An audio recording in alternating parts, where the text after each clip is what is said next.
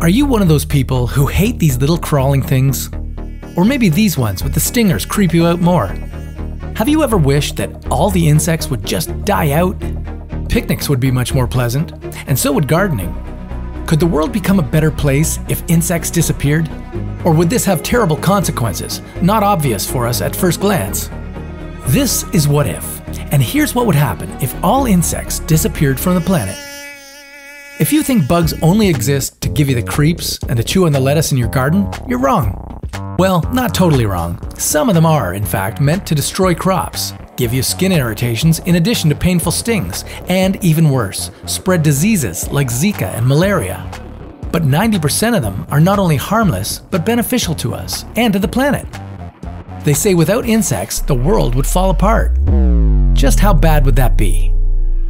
If we put all the insects on the planet together on a scale, they would weigh approximately 300 times more than all humans combined.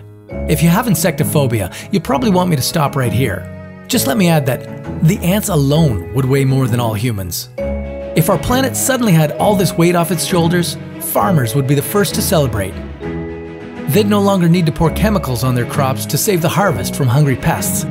But that celebration wouldn't last long, because without insects, we'd all starve pretty fast. And no, we don't mean that those bold adventurers who snack on crickets and grasshoppers somewhere in Thailand would starve. Humans might be predators in the food chain, but insects are the ones to hold this chain together. They are food for some reptiles, small birds, and frogs. If all insects vanished, those animals would cease to exist too. The animals feeding on frogs and reptiles would be the next to die off, and then the ones further up the chain. Eventually, this disruption would work its way up to humans. Think you could survive by going vegan?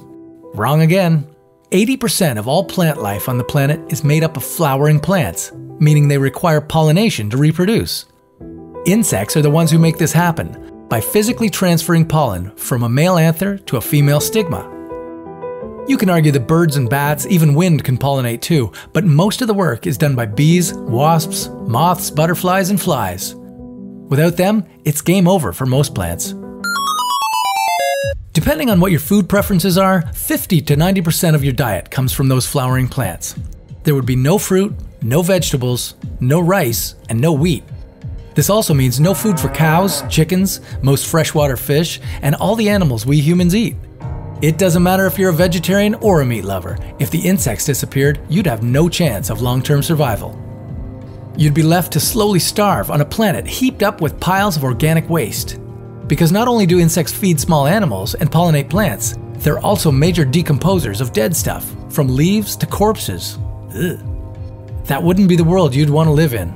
And to be honest, not all the insects are gross looking, wouldn't you agree?